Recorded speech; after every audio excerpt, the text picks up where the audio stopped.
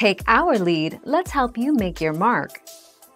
Our goal is your satisfaction. Let us show you the way.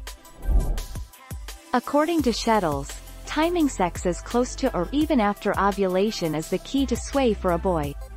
Shettles explains that couples trying for a boy should avoid sex in the time between your menstrual period and days before ovulation. Instead, you should have sex on the very day of ovulation and up to 2 to 3 days after. 13 March 2020.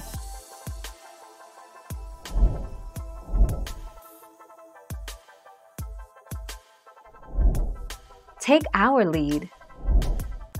Most pregnancies result from sex that happened less than two days before ovulation, Manglani says. But you can get pregnant earlier or later. Sperm can live in fertile cervical mucus for up to five days, she says. An egg can live up to 24 hours after ovulation. 20 February 2020.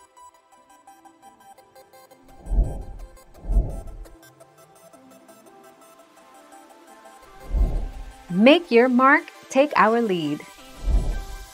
In his book How to Choose the Sex of Your Baby, Shettles explains that the male, Y, sperm is smaller, faster, and more short-lived than the female, X, sperm. Because of this, it is better for boy-desiring couples to have sex closest to the time when a woman's egg is released, ovulation.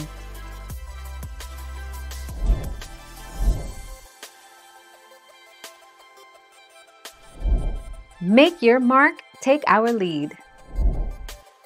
Sperm only live for a short time after release sperm that make it into the vagina after ejaculation can live up to five days. This is due to the protective effects of cervical mucus and cervical crypts. But if sperm have a chance to dry out, they basically die. Thank you for watching. Please subscribe and hit the bell notification.